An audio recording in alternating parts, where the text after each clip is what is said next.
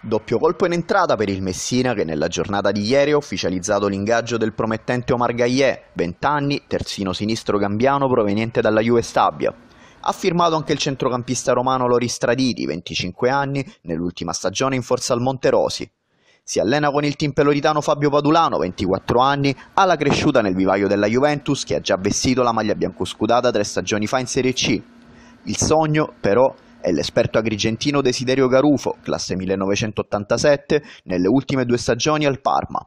Il duttile centrocampista di Grotte attualmente si allena con il Trapani ed è seguito anche dal Catanzaro, ma il Messina è pronto a fare di tutto per garantire al tecnico Giuseppe Raffaele un altro innesto di grande spessore. In difesa i nomi caldi sono due, il prodotto del settore giovanile del Palermo Amedeo Silvestri, 26 anni, fratello dell'ex calciatore del Messina Luigi e la scorsa stagione al Troina, e quello dello spagnolo Ruano, classe 1994, ex canterano del Barcellona e con un passato nel vivaio dell'Atletico Madrid, anch'egli lo scorso anno al Troina. Sfuma il playmaker Gennaro Esposito, 33 anni, nelle ultime due stagioni al Potenza, il mediano napoletano dovrebbe accettare alla fine la corte del Casarano, che in volata batterà la concorrenza di Messina, Brindisi, Turris e Nocerina.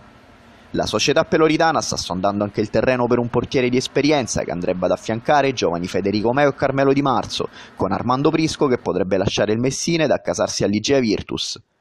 Intanto l'ex terzino giallorosso Santino Misale si è accasato al Gela di Karel Zeman, dove ritroverà l'attaccante Arcangelo Ragosta e forse anche il centrocampista Giovanni Lavrendi.